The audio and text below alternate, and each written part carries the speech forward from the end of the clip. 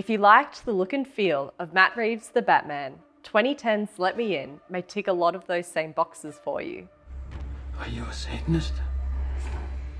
Are you involved in some kind of cult? This was the first collaboration between director Matt Reeves and cinematographer Greig Fraser, and his second with composer Michael Giacchino.